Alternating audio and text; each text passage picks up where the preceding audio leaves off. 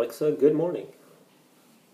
Look, up in the sky. It's a bird. It's a plane. It's National Comic Book Day. Evildoers beware. I've been working on my one-two punch. Kapow! Whammo! If you want some more heroics, say pretend you're a superhero and get ready for some action-packed fun.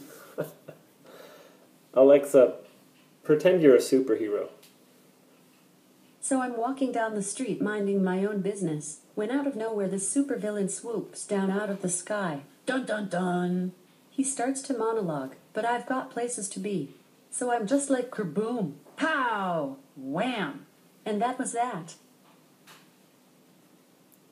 Alexa, pretend to be a superhero. All right, I see a baby kitten fall into the water splash.